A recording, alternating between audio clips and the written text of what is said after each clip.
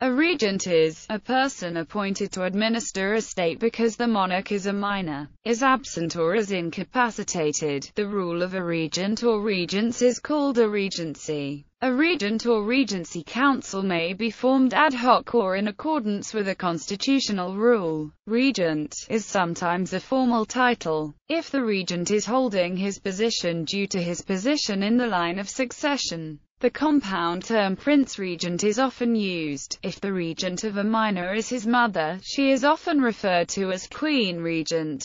If the formally appointed regent is unavailable or cannot serve on a temporary basis, a regent ad interim may be appointed to fill the gap. In a monarchy, a regent usually governs due to one of these reasons, but may also be elected to rule during the interregnum when the royal line has died out. This was the case in the Kingdom of Finland and the Kingdom of Hungary, where the royal line was considered extinct in the aftermath of World War I. In Iceland, the regent represented the King of Denmark as sovereign of Iceland until the country became a republic in 1944. In the Polish-Lithuanian Commonwealth, kings were elective, which often led to a fairly long interregnum. In the interim, it was the Roman Catholic primate who served as the regent, termed the interrex. In the small Republic of San Marino, the two captains regent, or capitani reggenti, are elected semi-annually as joint heads of state and of government.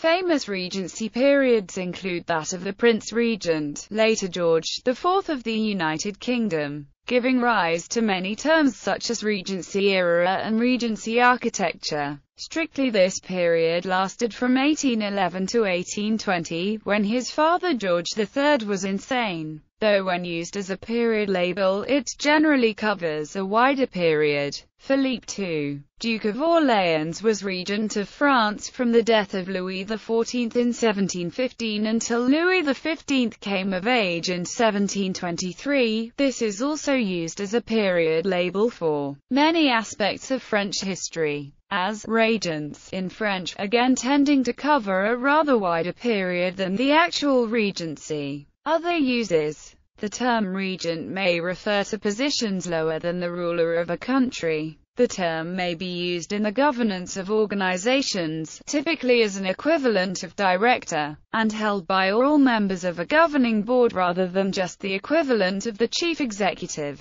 The term regent is also used for members of governing bodies of institutions such as the national banks of France and Belgium. In the Dutch Republic the members of the ruling class, not formally hereditary, but forming a de facto patrician class, were informally known collectively as regenten because they typically held positions as regent on the boards of town councils, as well as charitable and civic institutions. The regent's group portrait, Regentenstuk or Regentessenstuk for female boards in Dutch, literally, regent's piece, is a group portrait of the board of trustees, called regents or regentesses, of a charitable organization or guild. This type of group portrait was popular in Dutch Golden Age painting during the 17th century, and in the 18th century. In the Dutch East Indies, a regent was a native prince allowed to rule de facto colonized state, as a regentschap.